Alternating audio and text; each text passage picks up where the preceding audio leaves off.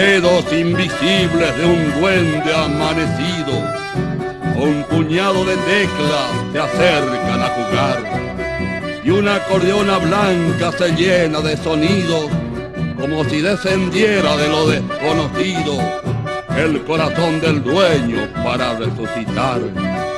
Y así van desfilando muy suave en el teclado las dulces melodías que nunca morirán. Siempre al comienzo surge la tierna madrecita y luego como un potro salvaje que relincha, retosa el gato moro pidiendo un zapucay. El concierto se extiende hasta la madrugada, hora en que el visitante se tiene que alejar.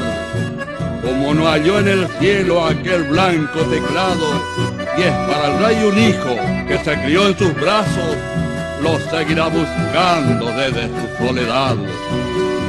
Con varias las personas que vienen comentando que si a la verdulera la dejan sin guardar, en las noches serenas, según Altamirano, se rompe aquel silencio como si extraña mano, muy suave en su teclado, se pone a ejecutar. No te extrañes, paisano, si una noche cualquiera tu acordeón de se pone a rezongar.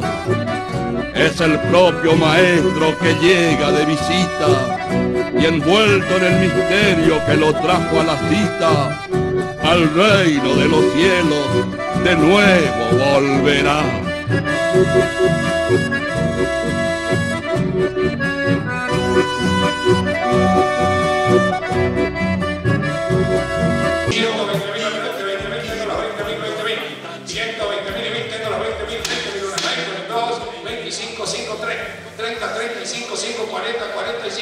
45, 5, 50, 45 mil uno, 45 mil dos y en 145 mil pesos, 45 mil, señor 50, 50, 55. 150 mil lo vendo una, 150 mil lo vendo dos y si nadie mejora lo vendo y se fue. 150, compra. Gracias señor, compra, lo llevó 150 mil, un aplauso por favor. Debe más. Ricardo, 35 por 2. Tengo 36, 38, 39, 40, 41. Más despacito no puedo. 43, 44. 43 mil acá abajo van. 43 mil y mil, tengo los 43 mil. Una, dos, 44 jóvenes. 43 mil y las vendí a las dos. Para Bercellone. 55 mil baúles. 55 mil y mil tengo baúles, vamos 56. 6 y 7. 8, 60. 61 millones. 60 mil a la derecha, los dos. 60 mil, otro toro del lote y se fue. Mismo comprador. 8 Hugo. ¿Seguro que no? 7, 8, 9, 90, 92, 95, 100 mil, 102, 100 mil pesos y fue. Barcelona, che un aplauso, todos los años Barcelona, llevando los toros del Faro, 100 mil pesos.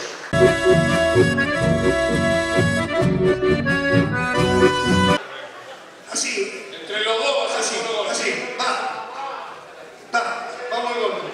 Los 55 se caen los dos. Porque, vamos a hacer una cosa, póngale 53, va, va, ta, arriba, los tres, arriba.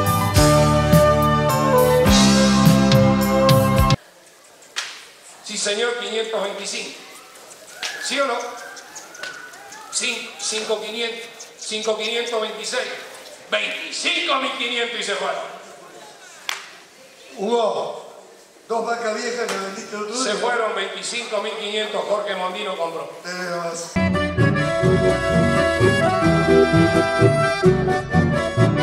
¿Cómo andás Isabel? Bienvenidos a casa de nuevo. Bueno, eh, en este 13 remate, otra vez como todos los años, tratando de, cortar la lluvia, pero bueno, lo importante es que la gente nos acompañó y la verdad que el personal también de Laguna Limpio trabajó demasiado para que todo salga perfecto, así que bueno, la verdad que muy contento. 13 años consecutivos, 13 años nosotros también consecutivos con ustedes y realmente la gente que quiere acompañar estuvo. ¿eh? Sí, la verdad que, que 13 años no es poco, eh, esperemos que hagamos 50 años, pero bueno, lo importante es que la gente nos acompaña, eh, el día no acompañó, pero bueno, lo importante es que el negocio, la, gente que venía a querer hacer negocio llegó de la manera que pudo, algunos tuvieron que hacer más kilómetros de lo normal, pero bueno, uno se siente muy reconfortado cuando la gente responde y viene a acompañarnos en, estos días. Como decimos siempre, Dios es el que sabe hacer las cosas. Exactamente, Dios es el que, es el que dispone, así que bueno, en definitiva con la faltante del abuelo, este año que está medio complicado, pero bueno, ahora ya está bien, así que muy contento. Eh, no lo pudimos traer porque era toda una logística, pero bueno, lo importante es que está, seguramente va a haber por Corrientes Cuembotá ir a ver todo el remate, así que bueno, todos muy conformes. Luis Grimaldi, bueno, se vino de Córdoba para este remate nuevamente acá en el Fabro Agropecuaria. ¿Qué le pareció y cómo lo vivieron? Mirá, eh, buenas tardes, ante todo, muy contento de charlar con ustedes, ya que soy un, digamos, un oyente de ustedes, siempre que hacen su espacio, los escucho.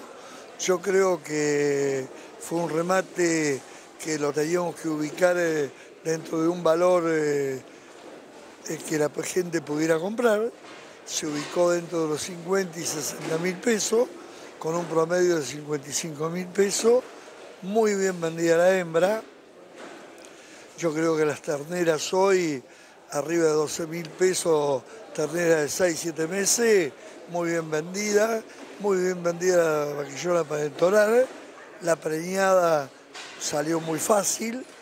Y bueno, han quedado solamente una vaquillona elite de Brangus, la Brangus Negras y un solo lote de 20 blancos negras y 10 coloradas, que justamente se están por vender.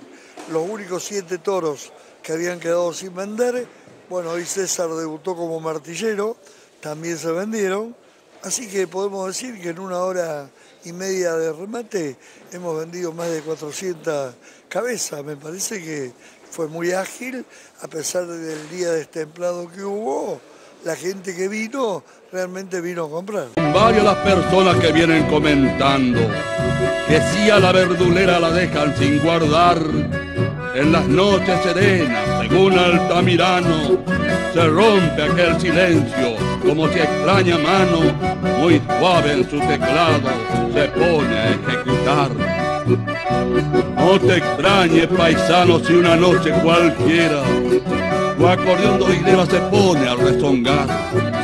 Es el propio maestro que llega de visita y envuelto en el misterio que lo trajo a la cita, al reino de los cielos de nuevo volverá.